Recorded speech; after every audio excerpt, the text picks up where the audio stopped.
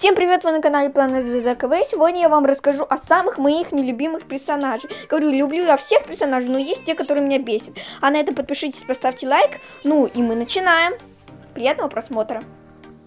Третье место занимает кот по имени Крутобок. Вы спросите, почему я его не люблю? Не только из-за того, что он убил Чистокола, я понимаю, Крутобок защищал своего племя и помогал своему племени, делал правильно, но еще из-за преданности. Вы скажете, я люблю Чистокола, который предал свое племя, но не люблю Крутобога, потому что он встречался с Серебрянкой. Потому что Серебрянка кошка мне и сама-то не очень нравится, ну и Крутобог тоже не очень. Меня бесит то, что он тихоря взял, ну, предал свое племя, ну, не то, что его предал, но просто ушел встречаться с Серебрянкой и никому даже об этом не рассказал. Огнегриф сам все это понял. Просто не понимаю, как можно было влюбиться кошка из чужого племени. Также Крутобок находит после смерти э, Серебрянки Милли. Да, я вам честно признаюсь и скажу, что пара Милли и Крутобок мне нравится больше, чем Крутобок и Серебрянка. Хотя большинство КВшников наоборот. Просто когда Милли пришла в племя, она показала, показала себя, ну, крутой, то, что она ничего такого не боится, и в будущем сильной воительницей. А Серебрянка мне показалась наглой. Также не понимаю, почему Крутобок не мог найти себе кошку из грозового племени. А на втором месте кот по имени Воробей. А почему он мне не нравится? Все просто из-за его такого сварливого характера.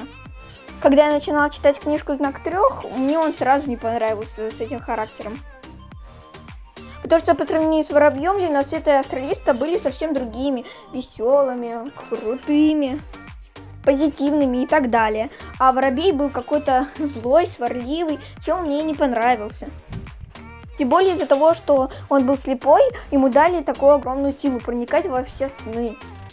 Типа Воробей самый могущественный.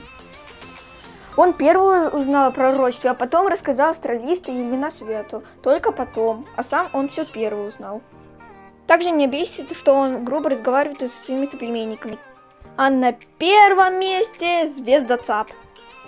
Он вообще обращался грубо с Чистоколом, со всеми. Просто чтобы получить власть.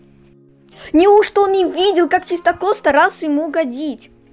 Просто еще никогда не видела, не видела такого упертого злодея. Сначала он убил Ярохвоста, потом наслал свору собак, потом наслал кровавое племя против всех племен.